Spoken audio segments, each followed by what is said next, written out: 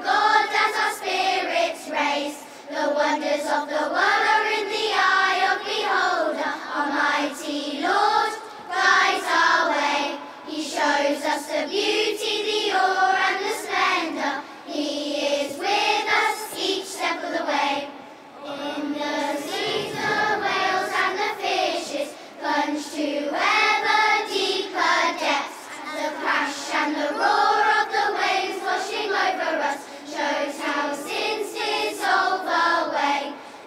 wonders of the world.